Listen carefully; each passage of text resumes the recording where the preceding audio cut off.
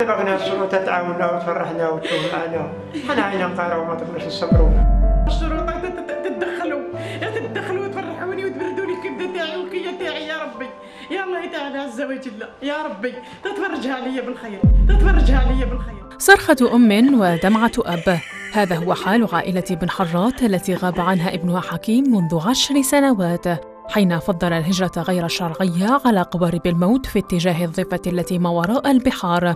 ورغم مرور سنين هي اليوم في انتظار سماع خبر صار عنها. ولم تفقد الأمل بعد من وصل المغرب قال لي عيط له. أنا رفدت التليفون وعيط له. قلت له ولد امه وين راك عبد وين نقول له عبد الحاكم وعبد عبد الرحمن في زوج. يا عبد الحكيم وين راك رايح؟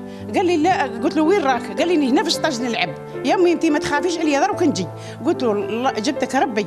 التينا راه الذوق ما دارين عندي روح ولدي خويا تولي تروح لي تولي تحرق لي. هيا قال لي دروك نجي. من ذاك نجي عيت لي دروك لا دروك باه كان عند باه جدو مريض راح مين جا قلت له أنا عبد الرحمن أنا عبد الحكيم وعبد الرحمن ما دخليش أنا ما دخلش ولدي في العيد نتاثر نتاثر نتاثر نتأثر نحط من وجد نقول ها ولا حق ولدي. حوج أنا ولا هذا حق ولدي على مول داري نقول له العيد هذا حق ولدي. ونتقرع لولدي. ونتأثر ما نلبس غير وجه الله تعالى عز وجل.